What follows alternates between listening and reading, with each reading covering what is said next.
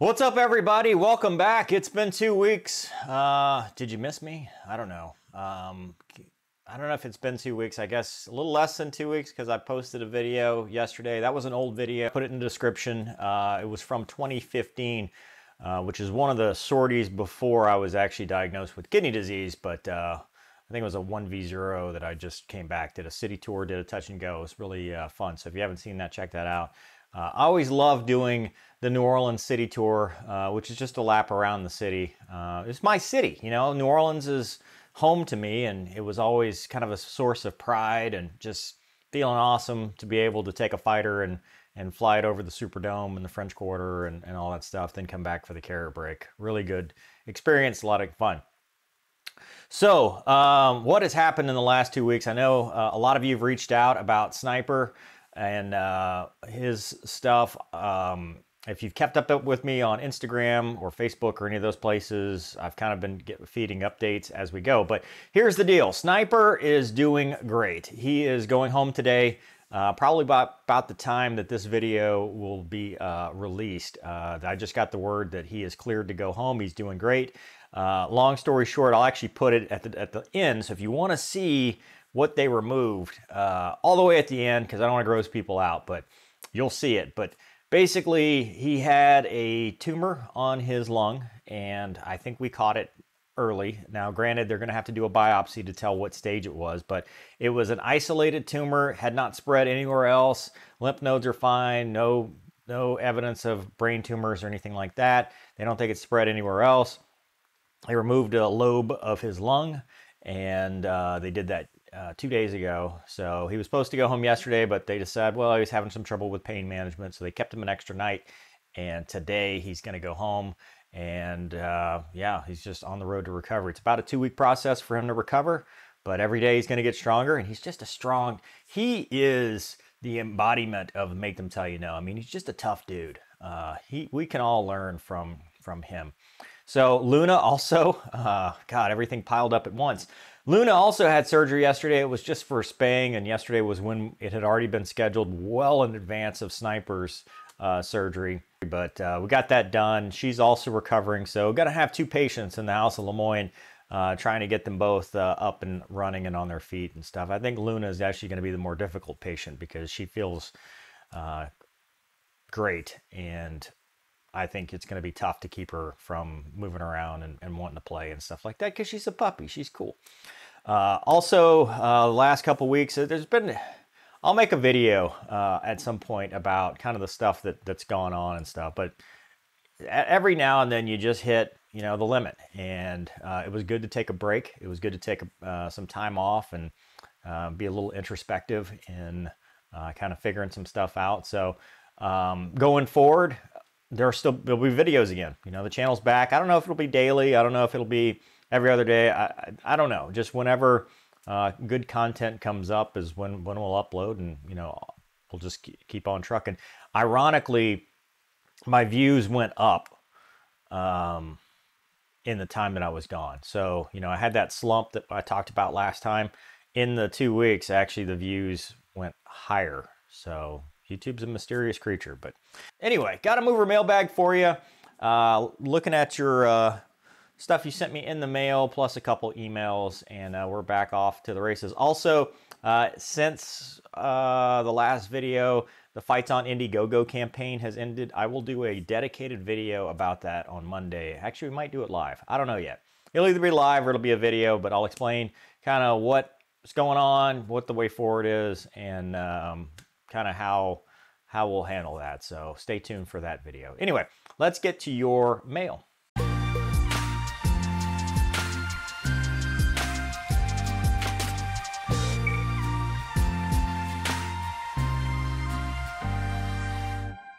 So the first one is really old. Um, I am super sorry. Uh, Renee, uh, you know, I know you reached out and we talked about this. I thought this was lost forever. I thought this one was just gone. And uh, Luna's behind me in case you're wondering. But um, it, it was found yesterday, actually. Um, I found it. Apparently, it had been found by the post office a while back, and I brought it home, not realizing what it was. And it sat forever. Uh, I guess somebody put it away, and uh, I just found it yesterday. So my apologies. It's it's my fault for not tracking it down sooner, but better late than never, right? So here we go. Uh, this is from Renee, all the way back in June. God, oh, I feel so bad about that. But here we go. Here's here's Renee's thing. What do you think, baby girl? You think it's something for you? Oh, it's a handwritten note. Hi, mover. Renee from Wisconsin here. 65 year old nurse, mama, grandma, Navy vet, no flying. I was a water jockey on a sub uh, tender in Norfolk. As a matter of fact, flying terrifies me, but I love to watch you do it. Love the sound of jets. The naval air side was close to my ship in port, and we could hear the fighters coming. They were nice enough to fly low for us. It's a great feeling, like fireworks. I'm fond of YouTube and found you by accident on an old Mover Ruins movies about the movie Flight. And I was hooked. You should have been on Top Gun. You should have been a Top Gun instructor. Tomcats watching you fly fascinates me. Making those decisions at fast is amazing. You and Gonky stand for all that is great in the military. Your channel reminds me of people, reminds people that freedom is not free. Uh, also, folds of honor. This is a small token of thank you for all you do. Your wall looked a little bare. The items on the bottom are for the boys. My dog Emma is also a rescue, and every time I bring Gracie bags or boxes in, she thinks something is for her. I wonder if Kaiser is hurt has heard anything. Luna is definitely here. Your new Hilo videos are making me crazy. I worry about you. It's the mama in me. I hope the watch party gets to happen. Stay safe. Thanks for all you do, Renee. Let's check out the the awesome stuff. And I, I'm so sorry, Renee, that this took so long for, for this. Let's see what this is. Oh, my other car is a plane. That is awesome.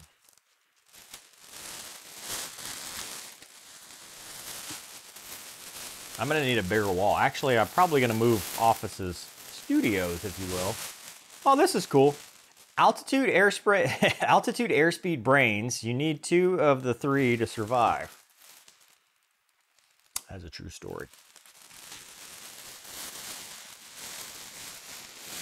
And now for the doggos. Luna. Possible replacement. I didn't even have Luna back then. It's crazy. Lulu Bell.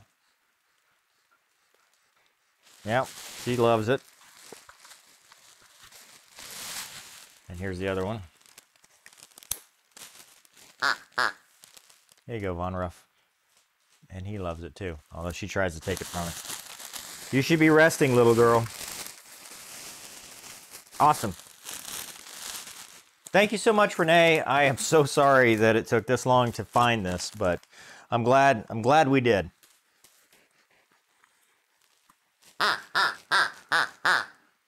There goes. All right. All right, this is from Kathy. And it is not for you, little girl. I don't think it's for you, little girl. Doesn't look like it might be.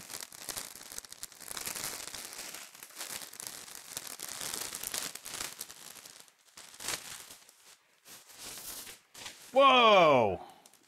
that is awesome.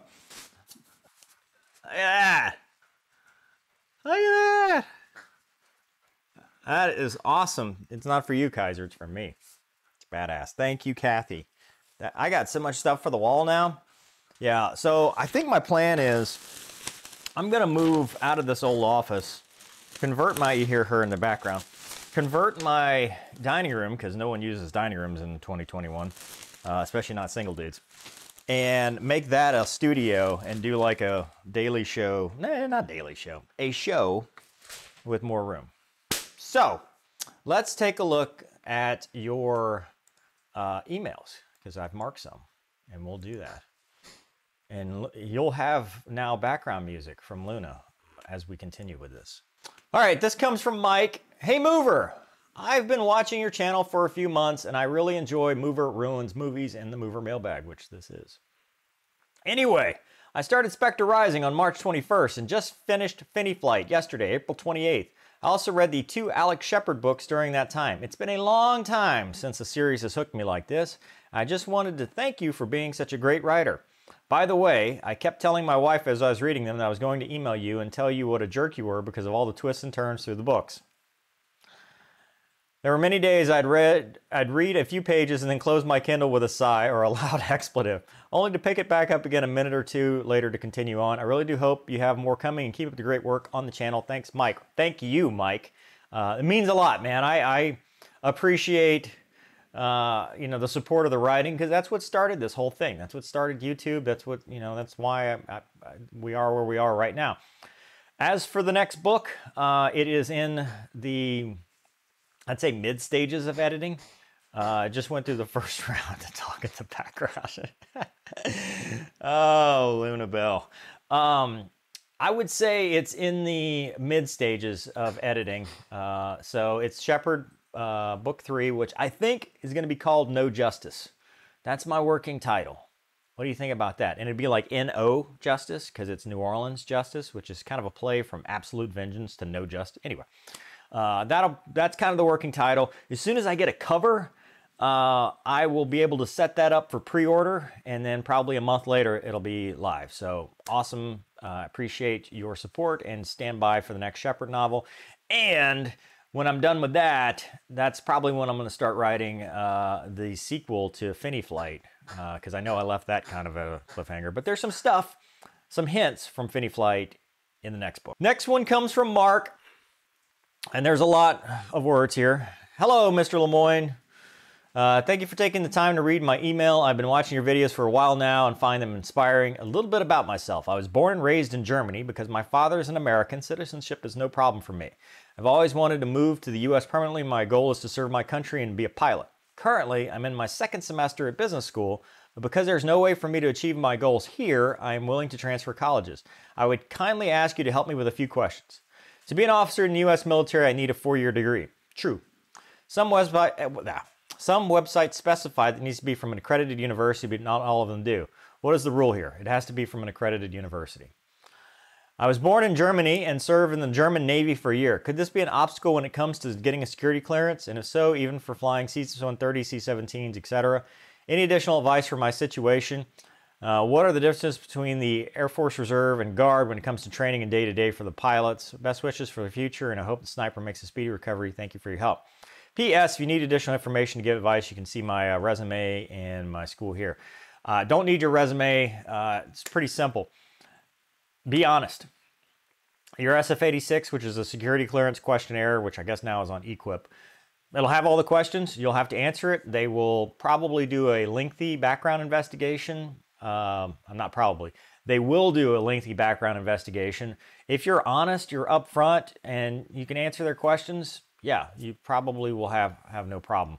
Um, most, if not all, fighters now require top secret clearance, so you have to be eligible for that. And, um, you know, I, I don't know, you know, I, it's been a while since I've done it. it. It's not going to be a showstopper. It will be an inconvenience. Like it's going to take, it's to be a process. There, it's not going to be a quick thing. Uh, they're going to investigate. They're going to make sure there's no foreign ties and all that stuff. But if you're honest, you give them everything they ask for. Um, you know, you go through the process.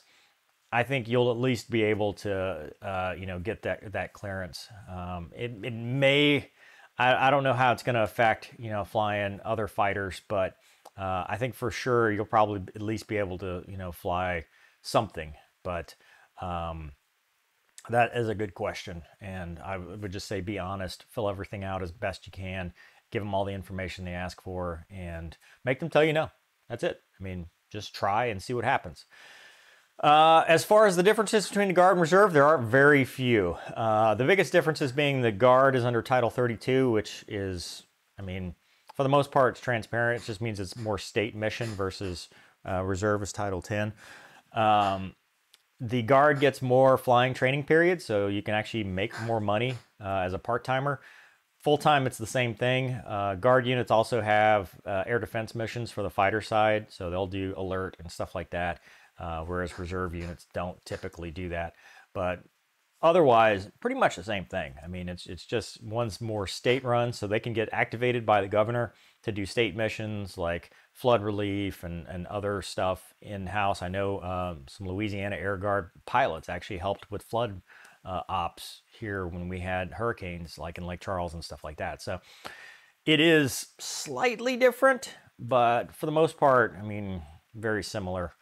Uh, I think Air Force Reserve has more of an active duty mindset, so promotion's a little bit more difficult, and some of the rules are a little bit more uh, stringent. But in general, it's pretty much the same day to day. Thanks for the question. Uh, let's see here.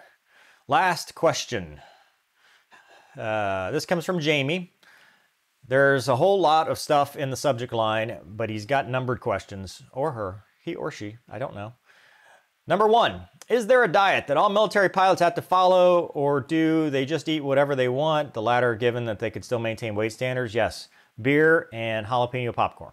That's all you can eat, ever. That's it. It's the whole diet. I'm just kidding. Uh, no, there's no special diet at all. Um, just be able to pass PT test. Two, have you seen any Asians flying in the military? I've watched dozens of drop night videos and I can only find less than 15 Asian. I don't know why we're so focused on race. Um, it, it, that is a little frustrating, but uh, have you seen my channel? I mean, Gonki's on here all the time and he's Asian. Um, Splint was Asian. I mean, yeah, don't focus on race though. There's no reason to. I mean, if, if you are qualified and if you are um, you have the aptitude for it and you make them tell you no, the race doesn't matter. How do I convince my family to let me go to fly without causing a family drama? My family doesn't like the idea of joining the military and they think that I should work in a more stable job, doctor, lawyer, accountant.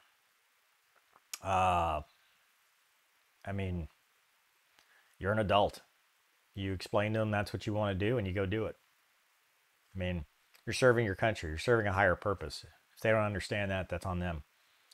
I mean, you, you can't let your family dictate your future as an adult. I mean, at, at that point, you know, you, you are making your own life choices. So um, I wouldn't, I wouldn't worry about it too much. I mean, yeah, they want you to be a doctor, lawyer, and accountant, but this is what you want to do, and they have to either respect that or or not. I mean, there's there you, you can't convince people that are uh, closed-minded you just can't so focus internally be happy. Don't worry about trying to make other people happy. What is your take on ENJJPT? How does ENJJPT compare to traditional upt it used to be a guaranteed fighter slot. Now i don't think it's much different than anything else. I think they get a few more hours in the t38 but um, i think it's pretty much same same. I mean i don't think you get any difference uh, as far as quality of training or anything like that. You do get to hang out with international partners, so uh, because that's the whole Euro NATO, so you get to fly with more international students. But when I was advanced, we flew with international students too. So um, I, I, don't I don't think it, it, it helps or hurts you. I, I, think it's just another place to go to pilot training these days. Uh, what non-U.S. made fighter is your favorite? Hmm. I mean, the Eurofighter's cool. You know, I think that's a cool looking airplane. Uh, Rafale's cool. I mean, I don't really have a favorite, but you know, I think they're both really cool airplanes. Um, the Gripen, that's a cool looking jet as well. I mean, I'd, I'd fly anything. I'm very sorry about what happened to Sniper. May God bless him. I hope he's okay. Yeah, he's hopefully doing great. We'll bring him home this afternoon and uh, looking forward to a positive recovery. So thank you. Best regards, Jamie. Thank you for your question, Jamie. Uh, thank you, everyone, for just, I mean, being supportive, being here. Um, I'm happy to be back. I'm happy that, uh, you know, I was able to work through some stuff and have the support of my friends and family, uh, dogs, you guys, uh, and everybody. So uh, expect more videos coming soon. Monday, we'll talk about fights on uh, and what, what the path ahead is. And, and we'll talk, uh, you know, we'll get more interviews. We'll do some more DCS videos. I've got to do a review. Um, this company sent me this, um, I, I want to call it a cockpit, but it's like a lawn chair with you put a stick on it, and um, review that. That'll be interesting. And um, yeah, more content, more Mover Ruins movies, and uh, you know we'll just keep on keeping on. I appreciate everybody. So if you want to send me something, uh, P.O. Box 8594, Mandeville, Louisiana 70470. Uh, or you can, if you want something to be read on the Mover mailbag, um, mover mailbag at cwlemoine.com. Or if you want to just send me something, cwlemoine, cwlemoine.com if you don't want it uh, on the mailbag itself. But um, hope you guys have a great weekend. Thanks for watching. We'll see you next time.